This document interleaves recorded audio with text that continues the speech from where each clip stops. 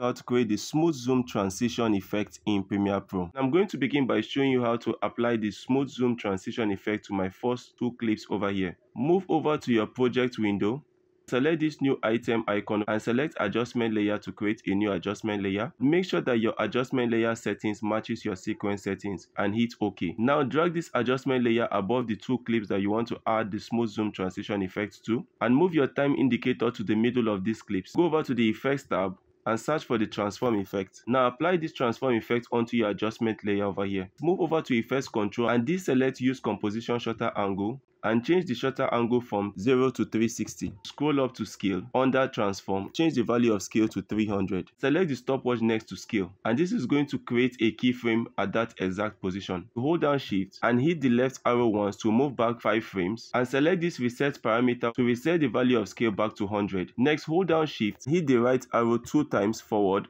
and hit the reset parameter once more and this will reset the value for scale forward back to 100 also. If I zoom in, you can see that we've created three keyframes over here. Select the first keyframe, right click, select ease out. Select the last keyframe over here, right click and select ease in. To move over to this arrow next to scale, select it and select this first keyframe over here and you want to select this little blue dot over here and drag it straight until this line becomes very linear and select the last keyframe over here and select the first dot over here and drag it forward also until the line becomes linear.